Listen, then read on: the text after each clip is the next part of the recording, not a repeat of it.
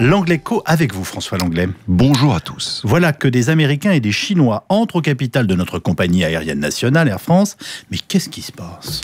Ce sont en effet Delta Airlines, compagnie américaine, et China Eastern, qui est la compagnie de Shanghai, en mmh. Chine, qui vont prendre 10% chacune d'Air France et obtenir à terme près de 30% du contrôle de l'entreprise, les droits de vote. Mmh. Pour les Français, il s'agit de s'associer avec deux des compagnies les plus dynamiques au monde sur des liaisons stratégiques l'Atlantique Nord et le Pacifique. Air France et Delta investissent aussi conjointement dans Virgin Atlantic. Vous savez, la compagnie qui avait été fondée par Richard Branson il y a déjà une vingtaine ou une trentaine d'années pour en faire un acteur clé entre l'Europe et les États-Unis. Bon, ça veut dire que tout ça, finalement, c'est positif?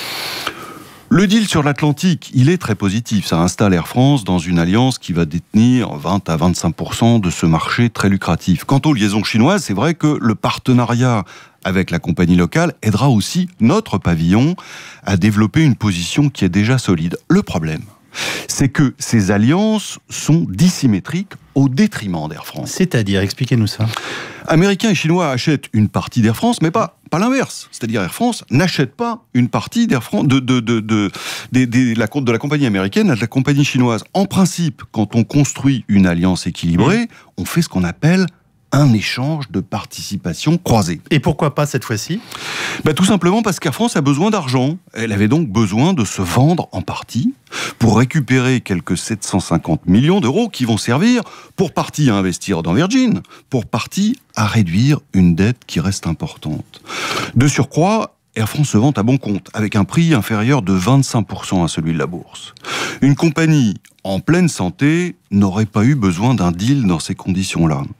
Cette affaire, si elle a des aspects positifs pour le futur de la société, c'est incontestable, signe donc aussi la faiblesse de notre transporteur, qui reste moins rentable que les autres et qui a donc du mal à financer lui-même son développement. Mais alors au bout du compte, à quoi est-ce dû cette faiblesse euh, fondamentale d'Air France? Oh, L'actualité nous a montré plusieurs exemples de ça récemment. La difficulté récurrente à réformer l'entreprise.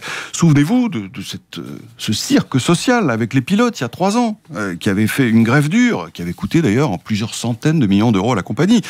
Air France bouge, se transforme, avec l'essor de Transavia notamment, mais toujours avec un peu de retard dans un monde où la concurrence des low cost est très brutale et où elle ne cesse de s'intensifier, y compris sur les longs courriers. Alors on termine avec la, question euh, cruciale que tout le monde se pose. Est-ce qu'il y a un risque qu'un jour Air France devienne américaine ou chinoise?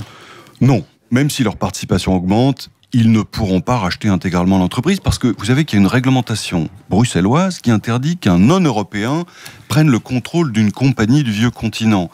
Mais cette opération, tout en donnant à Air France de bonnes perspectives, installe la compagnie française en deuxième division au plan mondial. Il n'y a pas si longtemps, c'était elle qui rachetait les autres. François Langlais pour l'Angléco tous les matins sur RTL.